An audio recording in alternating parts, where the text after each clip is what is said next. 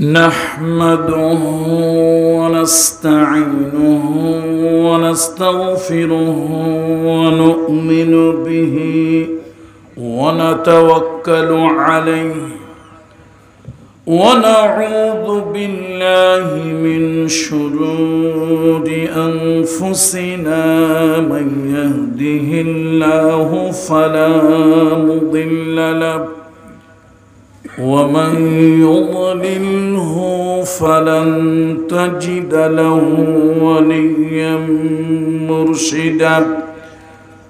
ونشهد أن لا إله إلا الله وحده لا شريك له. ونشهد أن سيدنا وسندنا ومولانا وأولانا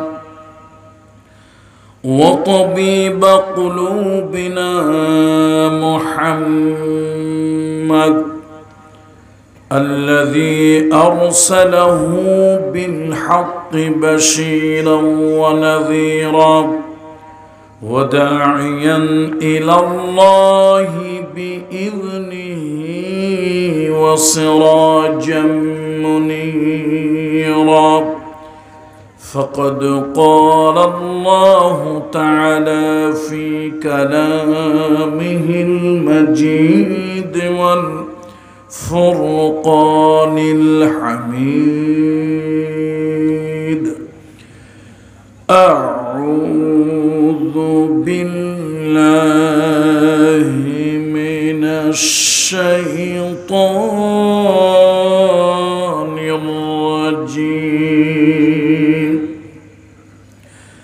بسم الله الرحمن الرحيم. ضرب الله مثلا للذين كفروا امرأة نوح وامرأة لوط. كانتا تحت عبدين من عبادنا صالحين. فخانتاهما فلم يغنيا عنهما يغنيا عنهما من الله شيء. وقيل ادخلا النار مع الداخلين. وضرب الله مثلا للذين آمنوا امرأة فرعون. إذ قالت رب ابن لي عندك بيتا في الجنة ونجني من فرعون وعمله ونجني من القوم الظالمين. صدق الله المولانا العظيم. وقال الله تعالى في شان حبيبه آمرا ومخبرا إن الله وملائكته يصلون على النبي يا أيها الذين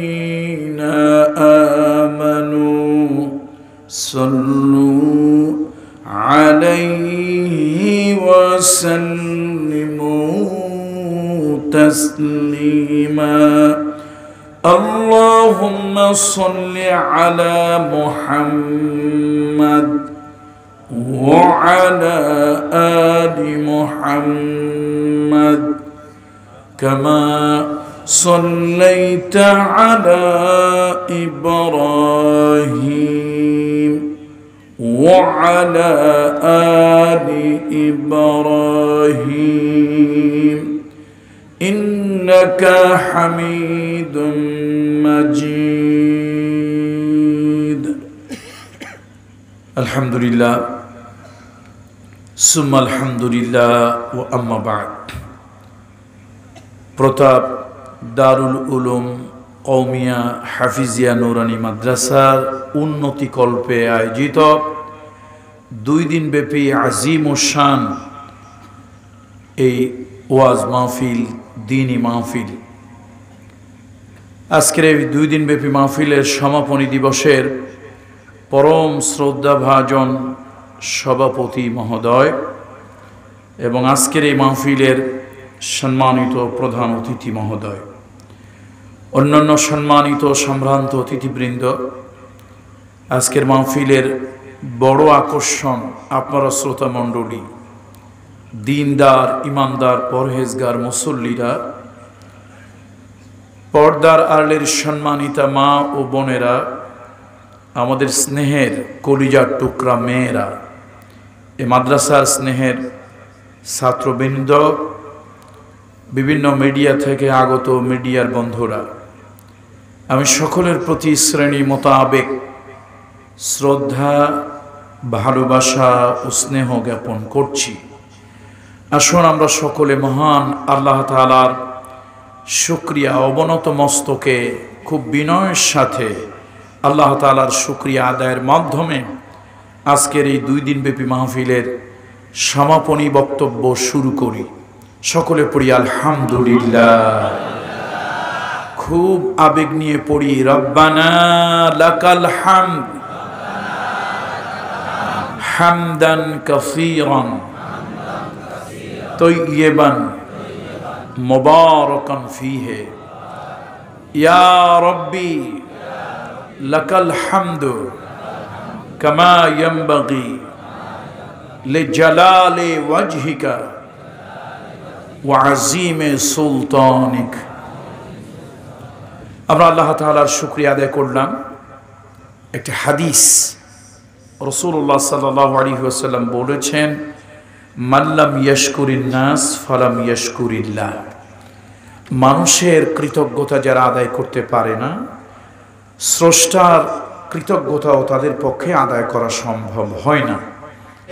আমি মূলত আজকে আলোচনা করব সুরা আত্মাহারিম এটা হলো উনত্রিশ পাড়ার একদম সর্বশেষ সুরা। উনত্রিশ পাড়ার সর্বশেষ যে সুরা, এই সুরাটার নাম হলো আত্মাহারিম আর একটু সহজ করে বলি, মুরব্বীরা যারা আছেন, যারা অজিফা পড়েন অজিফার মধ্যে একটা সুরা পড়েন, সুরায় মুল্ক। তাবারাকাল্লাযী বিয়াদিহিল মুলক, ওয়া হুয়া আলা কুল্লি শাইইন কাদির। এই সুরার আগের সুরা, কোরআন শরীফের ছেষট্টি নম্বর সুরা আত্মাহারিম এখান থেকে মূলত আমি আলোচনা করব।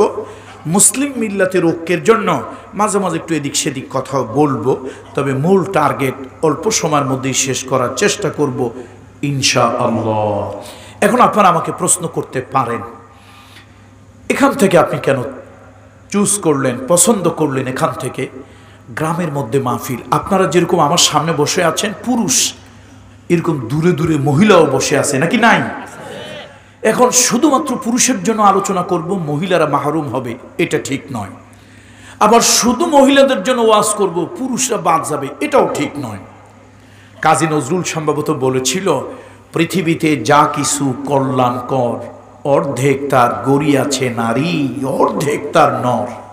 নর এবং নারী পুরুষ এবং মহিলা, এই উভয়ের কারণে পৃথিবী সুশোভিত হয়েছে, সুন্দর হয়েছে। যদি নারী আর পুরুষ না হইতো, বাচ্চা কাচ্চা হতো কোথা থেকে? বাচ্চা কাচ্চা না হলে পৃথিবীতে আসতো কীভাবে? আরে শুধু আদম দিয়া যদি দুনিয়া চলতো, তাহলে তো বেশদের মধ্যে আল্লাহ শুধু আদমরে বানায় রাখতো। কথা ঠিক কিনা বলেন? আল্লাহ তালা স্রষ্টা, সৃষ্টিকর্তা, সাস্টেইনার, চেরিশার, মাস্টার, লর্ড, তিনি জানেন শুধু আদমরে দিয়ে কাজ হবে না। এই জন্য আদমের জীবন সঙ্গিনী লাইফ পার্টনার কনজুগার লাইফ পার্টনার তার দাম্পত্য জীবনের সাথী হাওয়া আলাইহা সালাম, তাকে আল্লাহ তালা বানালেন। তাহলে যেহেতু আল্লাহ তালা হাওয়াকে বানালেন, তাহলে বোঝা গেল শুধু পুরুষ দিয়ে দুনিয়া চলে না। মহিলাও, একটু কথা না বললে আপনারা বুঝব আমার মতো অসুস্থ। আমি কিন্তু অনেক দূর থেকে, ঢাকা আপনারা লিখেছেন আসলে ঢাকা আমার ঠিকানা নয়। আমি গ্রেটার ফরিদপুর, মাদারীপুর, গোপালগঞ্জ এলাকার ছেলে। আমার বাবার বাড়ি ছিল গোপালগঞ্জ, আমার বাড়ি হলো মাদারীপুর।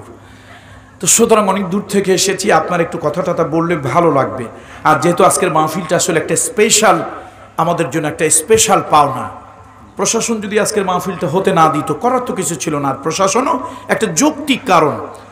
যদিও আলহামদুলিল্লাহ আমাদের বাংলাদেশে এই রোগটা এখন ওইরকম বিস্তার করেনি। তিনজন ইতালিয়ান প্রবাসী তারা এফেক্ট হয়েছিল।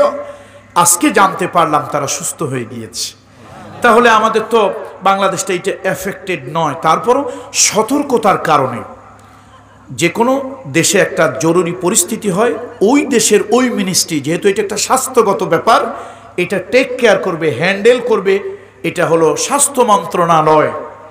সুতরাং স্বাস্থ্য মন্ত্রণালয় যদি বলে, অমকের এখানে যাওয়া নিষেধ, অমকের এইটা করা নিষেধ অন্য অন্য মন্ত্রণালয় সেটা মানতে বাধ্য। যদি তারা পুলিশকে বলে, কোনো বড় গ্যাদারিং আপাতত চলবে না। স্বাস্থ্য মন্ত্রণালয় চিঠি দিয়ে দিল, আপনার স্বরাষ্ট্র মন্ত্রণালয়কে, স্বরাষ্ট্র মন্ত্রণালয় যেমনি হোক, এটা পালন করবেই।